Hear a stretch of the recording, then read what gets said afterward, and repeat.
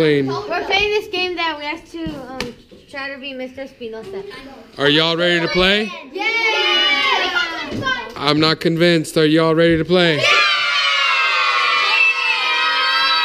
We are going for the highest number.